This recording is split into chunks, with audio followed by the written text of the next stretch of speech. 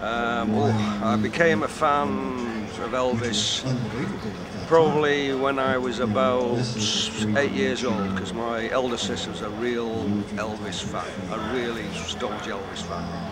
And so it was follow the leader sort of thing.